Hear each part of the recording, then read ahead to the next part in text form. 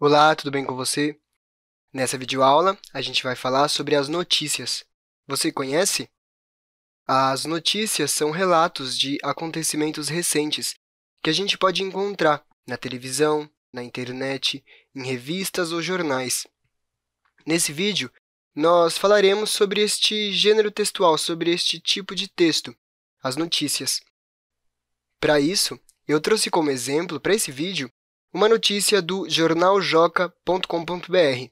Vamos ler a notícia que eu trouxe e vamos tentar entender um pouco esse gênero textual, percebendo a sua estrutura e como ele transmite a sua mensagem. Esse é o site, jornaljoca.com.br. Você pode acessar do seu computador ou do seu celular a qualquer momento para poder acessar as notícias que eles disponibilizam para a gente. Bom, a notícia que eu trouxe é a seguinte: 27 milhões de crianças não têm acesso a direitos no Brasil. Bom, esse é o título da notícia. Antes da gente ler ela, vamos prestar atenção em algumas, alguns elementos da estrutura que podem nos ajudar a perceber o que é uma notícia sempre que a gente vê uma. Sempre que a gente olhar para uma notícia, é importante que a gente preste atenção, caso ela seja escrita, em algumas características comuns. Como, por exemplo, ali em cima, no começo da notícia, a gente consegue ler Brasil, 20 de novembro de 2019. Esse é o lugar e a data quando a notícia foi publicada. Quem escreveu essa notícia escreveu no Brasil e escreveu no dia 20 de novembro de 2019. Logo embaixo, a gente vê o título. Ele sempre fica mais destacado, ele sempre fica maior no corpo da notícia para que a gente consiga perceber ele com facilidade. O título é o que eu acabei de ler. 27 milhões de crianças não têm acesso a direitos no Brasil. Ou seja, a gente já consegue ver de cara que essa notícia vai falar dos direitos que as crianças deveriam ter no nosso país e que uma boa parte delas ainda não tem. Logo embaixo do título, a gente vê um subtítulo, uma pequena mensagem que pode aparecer em algumas notícias, mas não em todas. Essa pequena mensagem ajuda a gente a entender um pouquinho mais sobre a notícia antes de começar a ler ela. O subtítulo diz assim: O dado foi publicado no aniversário de 30 anos da Convenção para os Direitos da Criança. Ou seja, com o título, a gente consegue perceber que 27 milhões de crianças não têm acesso a direitos no Brasil. Só que a gente não pode parar no título para entender a notícia e o que ela fala para a gente. Seguindo adiante, a gente tem o subtítulo. Logo em seguida, continuando a ler, a gente vai encontrar um texto mais comprido, mais extenso, a notícia. Ou seja, é o que a gente está vindo atrás, é o relato sobre um acontecimento. Porém, se a gente prestar atenção, nessa notícia que eu trouxe do jornal Joca, a gente vai perceber que logo depois do subtítulo e um pouco antes da notícia em si, a gente tem um pequeno textinho em laranja. Nele, a gente lê por Helena Rinaldi. Com esse nome, a gente consegue descobrir a repórter que publicou, que escreveu essa notícia. Isso nem sempre aparece nos jornais ou na televisão, por exemplo, aparece só quando o repórter vai falar, logo embaixo, no cantinho da tela.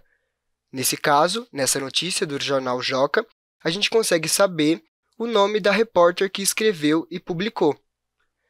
Bom, o primeiro parágrafo da notícia diz o seguinte: Mais crianças têm acesso à escola no Brasil, e o número de jovens na pobreza diminuiu no país nos últimos anos, segundo dados divulgados pela Unicef em novembro.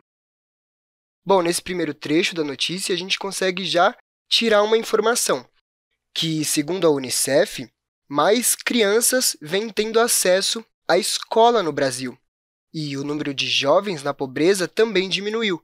Isso é um dado bom que a gente consegue extrair do começo dessa notícia. Porém, se a gente continuar lendo o parágrafo, a gente vai perceber que existe um pequeno problema nisso. A notícia diz assim: Entretanto, dos 57 milhões de crianças e adolescentes brasileiros, 27 milhões ainda não têm respeitados todos os seus direitos, como o acesso à educação, a saúde e a alimentação. Bom, com esse outro pedaço do parágrafo, a gente consegue finalmente, então, entrar no assunto da notícia. Percebe que o título diz 27 milhões de crianças não têm acesso a direitos no Brasil. Nesse caso, com certeza, essa notícia vai falar dos direitos das crianças no Brasil. Bom, vamos voltar para a compreensão da sua estrutura, já que nesse vídeo a gente não está estudando de fato o que a notícia está dizendo para a gente. O que a gente precisa entender nessa videoaula aqui da Khan Academy é o que faz uma notícia ser uma notícia. Quais elementos da sua estrutura nos mostram que ela é uma notícia? O título, o subtítulo, que às vezes aparece junto do nome do repórter ou da repórter que escreveu, o texto da notícia em si, o nome do lugar em que ela foi publicada e a data. Vamos, então, voltar para a nossa lousa e tentar perceber todos esses elementos separadamente. Bom, aqui com a notícia do Jornal Joca, a gente consegue, então, perceber cada pedacinho que compõe a sua estrutura. Logo no começo, como eu disse lá atrás, o Brasil, 20 de novembro de 2019, se refere à data e o lugar de publicação dessa notícia. Isso é uma coisa que sempre aparece nas notícias impressas. Nas notícias de televisão, por exemplo, a gente costuma ver o lugar de onde está sendo transmitida a notícia logo abaixo do nome do repórter que a transmite. Bom, voltando para o site, a gente consegue encontrar, então, o título da notícia, que diz 27 milhões de crianças não têm acesso a direitos no Brasil. Esse é o título, é o que encabeça a notícia, é o que introduz o assunto dela, do que, que vai ser falado. Logo depois, a gente tem o subtítulo, que é uma coisa que pode aparecer em algumas notícias impressas ou de sites da internet. Logo em seguida, a gente consegue ver o nome de quem produziu a notícia. Isso nem sempre aparece nos sites, nos blogs, nos jornais ou revistas virtuais que a gente consegue encontrar pela internet. Às vezes, o nome do autor ou da autora não aparece. Logo em seguida, por fim, a gente tem a notícia em si, o que compõe o conteúdo, o texto acerca do acontecimento que vai ser tratado nessa notícia. No caso do exemplo que eu trouxe, a gente viu e leu só o primeiro parágrafo, mas é o suficiente para a gente entender como funciona uma notícia, do que ela fala e qual o seu objetivo. Bom, esse foi o vídeo de hoje. Espero que você tenha compreendido o que são notícias e como elas podem aparecer de diferentes maneiras, sendo na TV, no rádio, na internet ou impressas em jornais ou revistas. Eu vou ficando por aqui. A gente se fala numa próxima aula.